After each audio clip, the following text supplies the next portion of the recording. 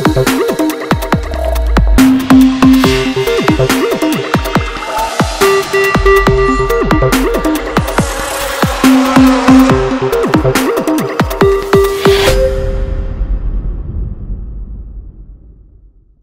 evening, Kenya. Welcome to Point of View. Eneza, Paykind, Cladlight, startup businesses and incubation.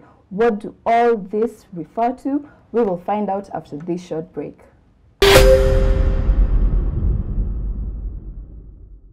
And we are back. Today we will be looking at the intricacies of what is a startup, startup business and what incubation is. Today in studio with me, I have Nailab CEO Sam Gichuru.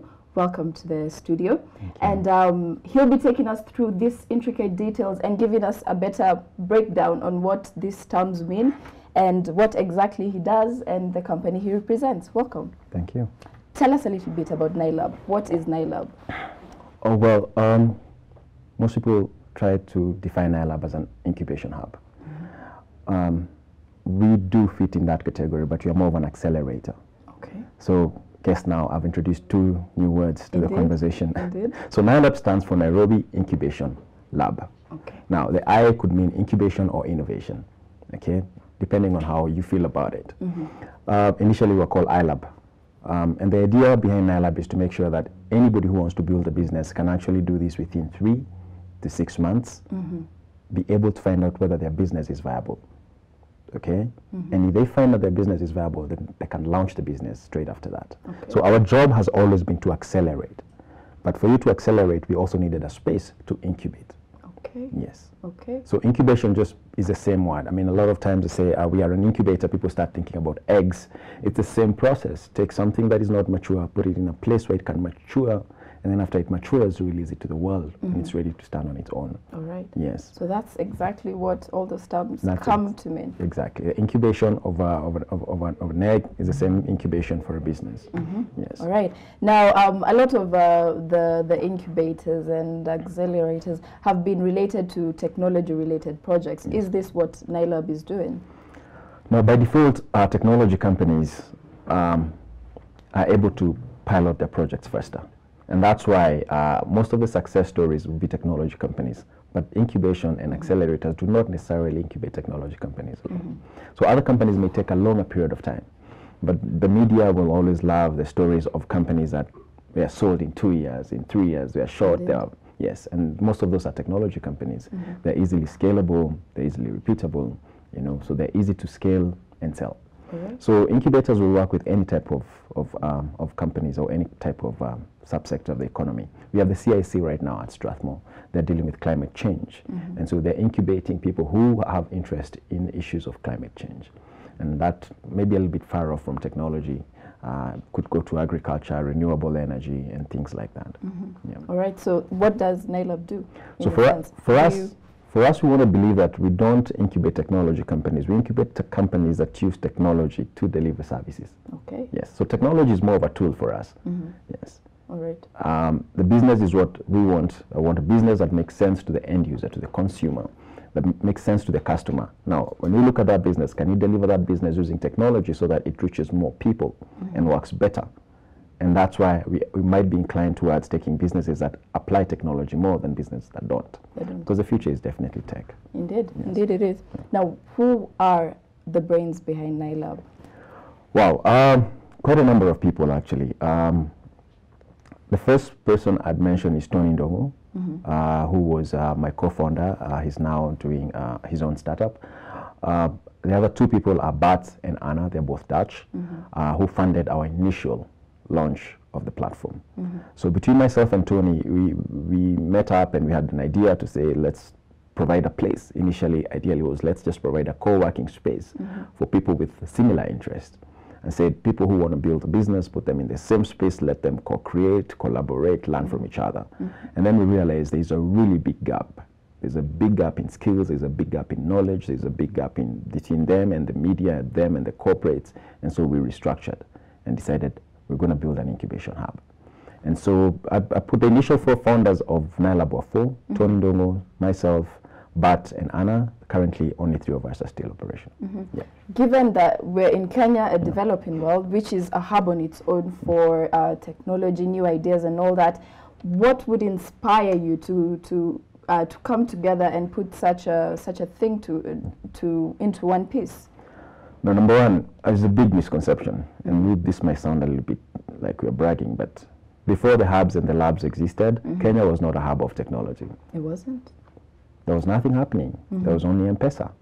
I mean, an M-Pesa by itself as a product does not necessarily turn us into a hub. That would be like saying Skype turns Estonia or, or Angry Birds turns Finland into into a hub of gaming. Mm-hmm. So hopefully, hoping that I got those two, com- two companies right from their country of origin. But before the hubs came into play, before the labs came into play, there, Kenya was not a hub of technology. So we are the ones who created it as a hub of technology by creating the hubs and the labs. Yes. Okay. Um, I think, and ideally was the first thing is that every every other every other profession is scattered. Journalists are scattered all over. Uh, lawyers are scattered. Doc- doctors are scattered. If you create hubs for lawyers, journalists, and doctors, then you you will. Tomorrow the conversation changes. Kenya is a hub for Yes. journalists. Yeah. You know, Kenya is a hub for lawyers. You know, because you see it and you, you're able to bring change just by having that kind them of in one Yeah. creative space. Yes. Let me take you a little back to um, the whole technology question.